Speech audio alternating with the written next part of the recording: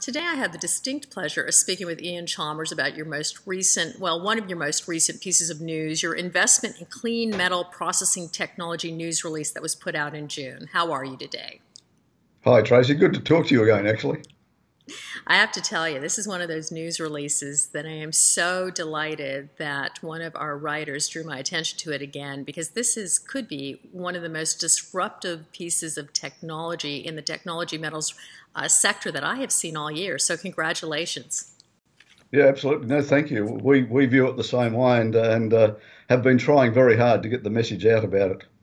Well, I think maybe the message is too big. So, anyone out there listening to this uh, interview right now, you're going to be very excited by this news release. So, let's just start with the basics. You started with a news with South Korea's zirconium technology, or you call it uh, Ziron Tech. Is that correct? That's correct. Ziron Tech's the name. Yes. Z- yep. Ziron Tech, and I think the, the the big hard hitting message in this deal is that you're going to be able to reduce metallization costs in excess of 50% for not only alkane, but just all technology metals pretty much in the future. Is that correct?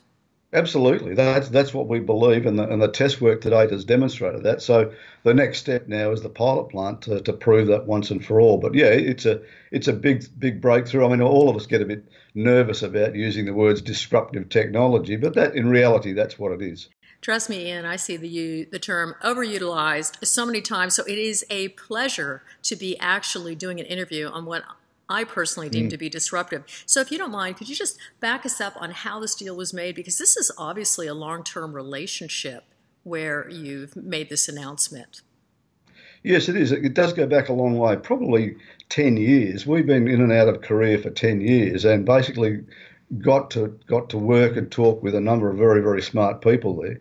And about 2014, I think it was, one of the guys introduced us to Prof. Lee at uh, at Chungnam National University. And I guess the first meeting we had there, I, I mean, I got blown away. I thought, wow, you know, these guys are, are, dealing, you know, on a new, they're on a new level, well, truly above what uh, what we're used to. And it just went from that. So a lot of lot of discussion, a lot of test work, I guess the key thing for us that helped helped the relationship is midway through that that process, we were able to demonstrate we could produce high purity zirconia and high purity hafnia from a separate stream, and that was a, that's a big innovative step that we've done ourselves. But then being able to feed that material to Prof. Lee's test work was a big bonus, and it really developed very quickly from that. And of course, uh, this uh, Chungnam uh, University was was basically providing a new process that competed with, and, and, this is where you're going to be correcting me with the Kroll process. Is that correct? And can you tell me yeah. now about the actual process? Okay, yes, you're right about the Kroll process. It's been around for, for 70 years. It was developed uh, probably pre pre the Second World War, and it's a major industrial process.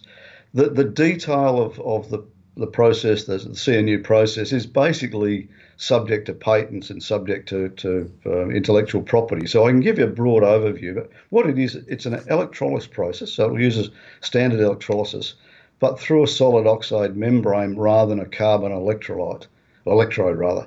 And that's a big step because it takes that carbon out of the equation. And the really exciting thing from us was initially was that the solid oxide membrane that they use is a, is a yttria stabilized zirconia. So here's two products that we'll produce from Dubbo, and we can actually produce yttria stabilized zirconias in our process. So there was an added bonus to us. So this process, which is an electrolysis process using the solid oxide membrane, and the beauty thing about it is that it, it uh, just generates oxygen. Oxygen is the only waste material that comes off, and it produces high purity metals from the from that process. So it's a it's a big step forward.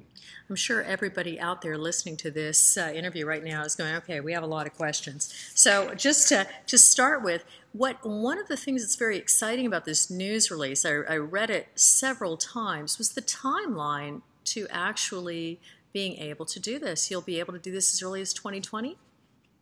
Yes, yeah. Basically, you've got to understand this five years with us, and probably a lot longer than that for Prof, Prof Lee. Basically, the next 12 months are a, demonstration pilot plant, a pilot plant stage operation. And we're very confident that's going to work given the amount of work we've seen that Prof. Lee has done in the laboratory over the last several years. So, yeah, by, by this time next year, we would hope that we've got a commercial process and then we go from there. It'll go very, very rapidly from there.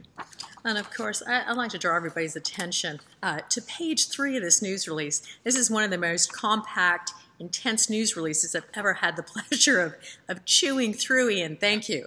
You have a suitability of Ziron Tech electrolysis process table and I think this is very exciting. I don't know if anybody can see. I think we're going to drop this slide in for this interview. But you know, basically, you have uh, five that are suitable and experimentally verified, and those will be the five you're going after initially. But I'd love for you just to talk about how large this is in for scope, and I also like you to touch on the fact that magnetic materials are part of that initial five. Yep, sure. Yes. Look, the driver, the driver for, for National University was to produce nuclear grade zirconium metal and nuclear grade hafnium metal for the for the Korean nuclear industry. But it became apparent to them very quickly that that can that process can be used. And the initial target after zirconium and, and hafnium was titanium. There's a you know, big industry in titanium metal. And then back into the rare earths themselves, so it can actually produce on all rare earths.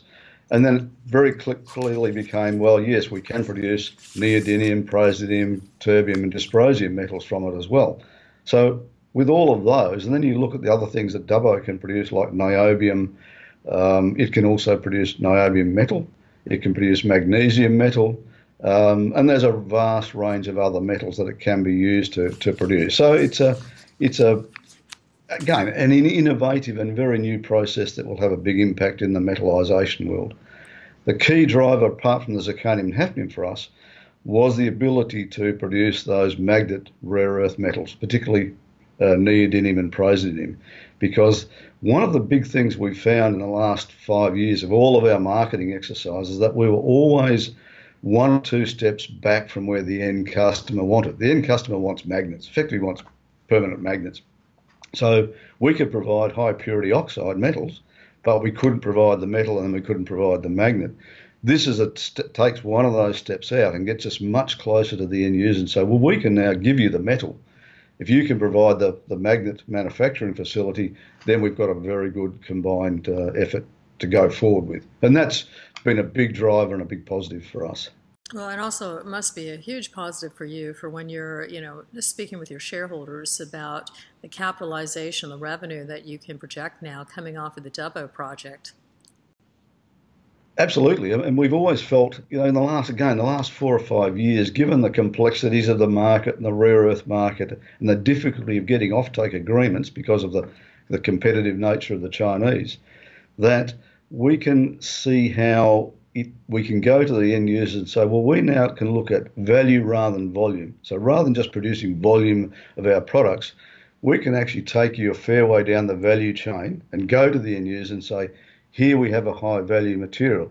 That obviously helps our economic, our financial model when we when we put that together. And the good thing about this metallisation step, it doesn't add very much in capital and operating cost to, to our existing project that we plan.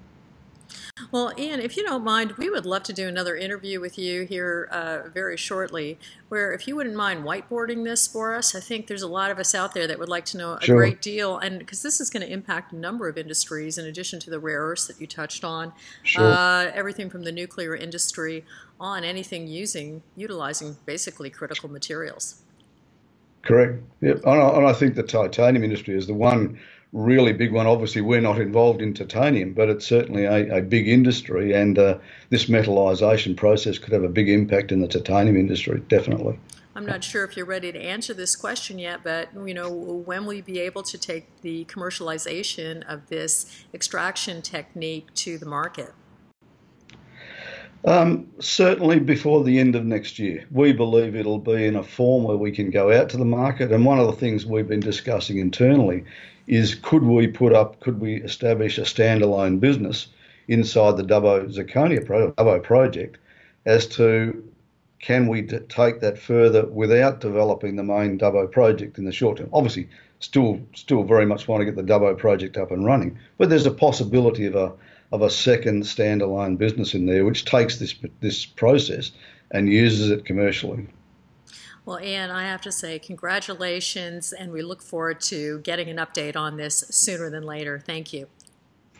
Okay, thanks, Tracy. Nice to talk to you.